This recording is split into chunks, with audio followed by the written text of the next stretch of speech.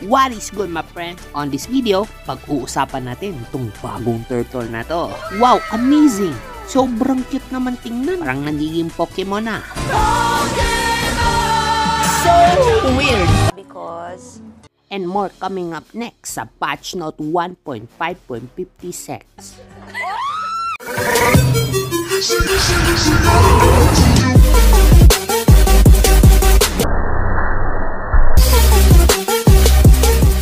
Alright guys, first on our list is a Beatrix buff. So sadly kinuha yung spell bump guys ng ah, mga skills niya. Pero fights naman kasi pinataas din yung damage niya. At mas good news pa, kasi yung skill niya ngayon nasa gilid na ng recall guys. So yung pag-switch nyo ng weapon is super easy right now. So, hindi na siya ganun ka hirap gamitin ngayon kasi syempre, nasa gilid lang ng recall guys. You can just click it and switch your weapon. Alright, next is Argus buff. And first of all, nakikita nyo naman dito, may bagong icons yung skills niya men. Ganda. So, para sa buff niya guys, binuff ni Monton yung passive niya Argus. As you can see dito, wow, 60% to 100% physical attack na sa passive niya men. Tapos yung ultimate niya, cooldown, pinababa nila. Wow, as in guys, sobrang excited ko na talaga magamit tong revamp na Argus men. Alright, next is Bane buff guys. At sa buff na to, yung second skill ni Bane, ah medyo binuff ng konti. So as you see dito yung HP regen, pinataas. Wow, 8 to 10% of lost HP na daw. I swear guys, itong mage na Bane na to, sobrang sakit talaga to kapag ilalabas na to sa original server. Kita nyo naman. Wala pa tong item ha. Ang kulang na, na talaga dito, i-revamp yung forma niya. Hingi na. Parang naka-download resources pa rin eh. So weird. Alright guys, next is Barat's buff. At sa buff na to, pinataas ng konti ni Monton yung max HP bonus of enhanced basic attacks by 1% at sa first skill niya din which max HP bonus of the first attack damage daw by 1% lang din. Wow! So, next is Johnson Adjust. So, sabi ni Monton dito guys, sobrang OP daw ni Johnson ngayon. Kaya yung ultimate niya parang Aldos na. Nakikita na ng kalaban kung saan ka. Your vision is exposed if you use the ultimate now.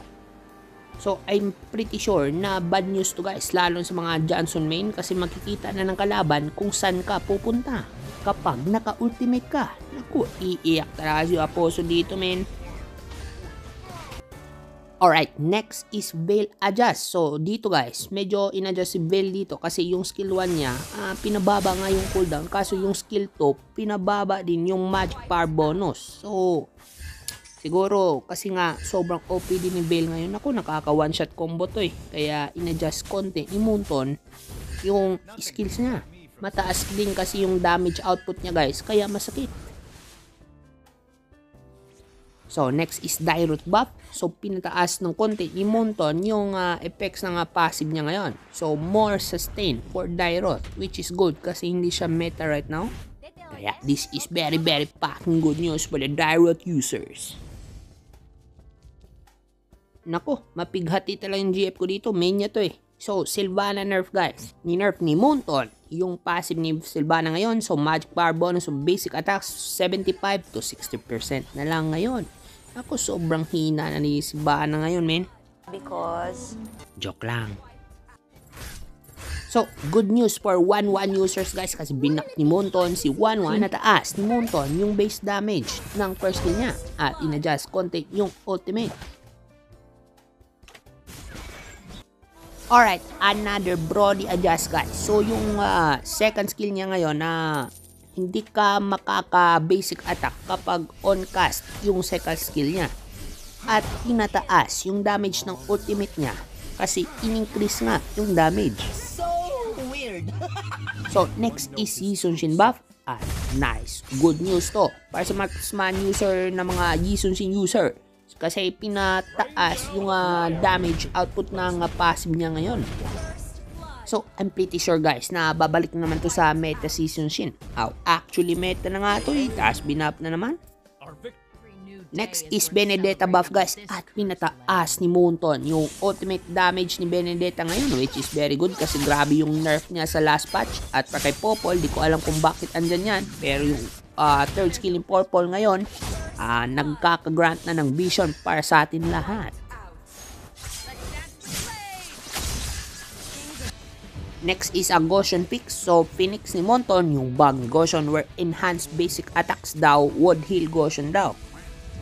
Ah, oo. Yun lang. Pero, ayos din. Alright, next is Alpha Buff at grabe nito men. Pinababa ni Monton to 20 to 12 seconds to 16 to 10 seconds na lang. What the fuck bro? Sobrang OP na ng Alpha nito men. Sa next patch guys, I swear, gamitin nyo tong hero na to. Kasi mag-spam lang to ng spam ng ultimate men. Sobrang OP na ni Alpha ngayon guys. Shit. So weird.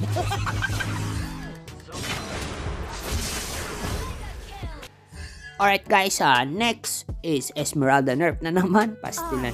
So, immobilization niya ngayon guys, 1.2 seconds to 1 second na lang. Fix yan, fix stat sa ultimate niya yan. So, maliit lang na nerf para kay SP men. So, king ina, OP pa rin to guys, I swear.